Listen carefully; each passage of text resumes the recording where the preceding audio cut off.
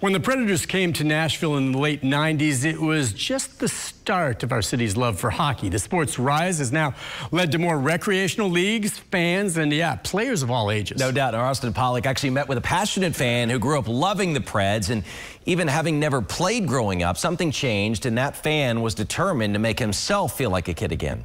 Here's this week's Take Time to Smile.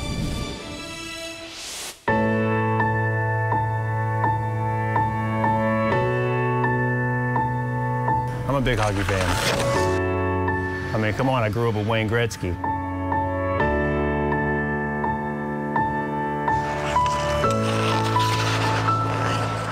Just tell me good things come to those who wait, and if you take the time to do something, you know, you're gonna get you're gonna get something out of it. It's been a long wait for Delton Teeter. I started skating in June on synthetic ice in the garage.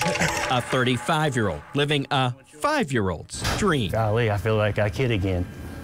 I feel like, well, definitely a kid. I wanted to do this as a kid, but never got to do it, so. I... A kid raised in Clarksville. Say, go, Daddy! Now sees a reflection of himself. I didn't show him the way of hockey. Go! He showed me. You got it, Wade. Come on, stay with it, stay with it. That a boy, that a boy. Good job, Wade. Good job. Good job. Delton's son Wade turns two next month. Got him a little foam hockey stick, started hitting it around the house. And he loves to watch the Predators play. Uh, he immediately started hitting it around the house.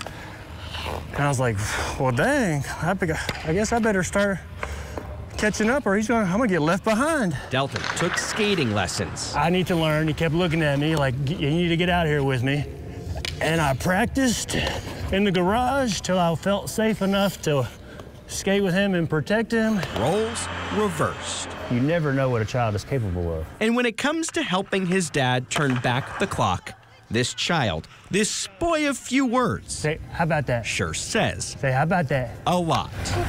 That's right. How about that? They shoot pucks in my house and I let it happen because I would never stop them from making those memories. Memories that are more than a miracle. Um, it was a lot of doctors, a lot of doctors visits back and forth to Knoxville. We were told by doctors that I would never get pregnant.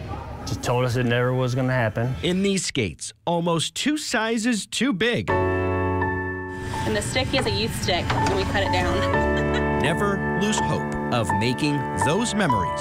I just look at him and I just see my miracle baby. There we go. With this miracle on ice. Good job. On, I'm Austin Pollock, News Channel 5.